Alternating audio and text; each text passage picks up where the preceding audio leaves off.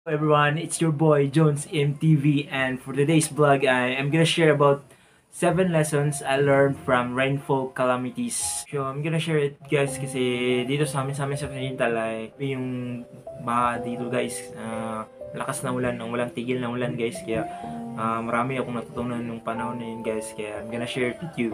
So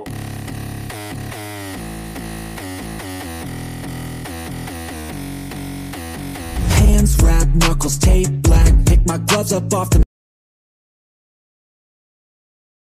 So number one, things are not permanent. So yun nga guys, walang permanenteng mga bagay sa mundo. Katulad, lahat ay nagbabago katulad ng nung nagulan sa amin.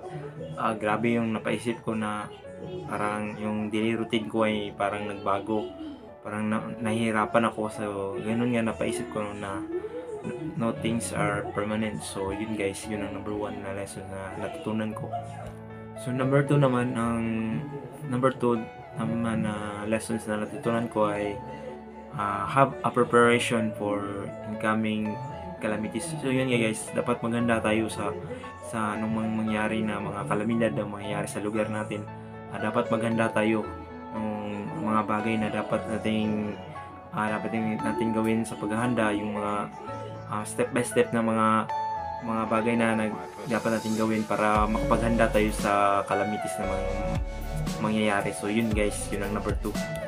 Number 3 naman na lessons na natutunan ko ay um, cherish every moment. So yun nga, ah, dapat mga pahalaga natin mga bagay, eh, mga pangyayari na nangyari sa buhay natin. Dapat natin i-cherish yun, dapat nating ah, dapat nating i-enjoy, dapat nating dapat tayong maging masaya sa anumang bagay na nangyayari every moment. Dapat ating pahalagahan kasi wala hindi natin alam na yun na pala yung last na mangyayari sa ating buhay.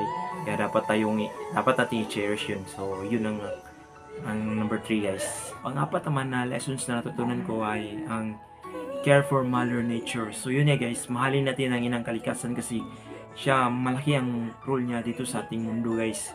So, ang yan ang natutunan ko ang kahalagahan at at mahalin ang ating inang kalikasan. Kasi siya yung paano ano na lang kaya pag hindi natin siya minahal baka mas ma- mas malala pa yung mangyayari sa ating sa ating kalisa, kalikasan sa ating mga paligid. Kaya yun guys mahalin natin si inang kalikasan. So yun ang pangapat na natutunan ko. Sa lima naman ay love your loved ones while they are still alive. So yun eh guys mahalin nyo at pahalagan nyo yung mga taong uh, nagkikare sa inyo yung mga taong uh, nandyan sa buhay nyo like your parents, your friends, your relatives. So yung mga taong may role sa buhay nyo, dapat yung pahalagan sila kasi uh, paano na lang pag, pag nawala na sila kasi pag wala na sila yun yung time na dapat na na-realize nyo na uh, mahalaga pala sila. So yun guys, mahalin nyo yung yung mga loved ones nyo. So yun ang panglima guys.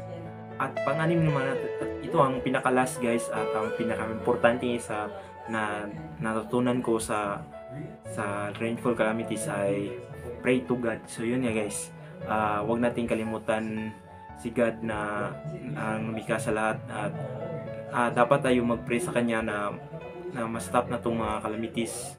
So, yung mga times na yun na nag-pray ako kay God kaya uh, sa, sa awa ng Diyos na nalampasan ko yung mga pagsubok sa buhay.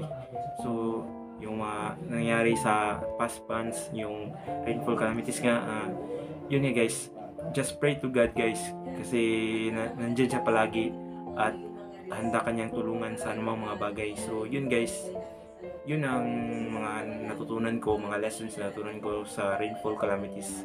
Sana may natutunan din kayo. So, that's it for today's vlog guys. So, uh, salamat sa panonood guys and see you next vlog. Bye.